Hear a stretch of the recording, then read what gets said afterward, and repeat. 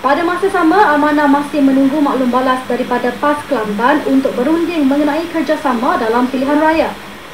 Sebelas hari bulan eh, uh, 8, saya kemukakan satu gagasan untuk membantu PAS mempertahankan supaya UMNO tidak bertapak semula di Kota Darul Naim. Selepas 4 bulan lebih, tak ada siapa pun respon.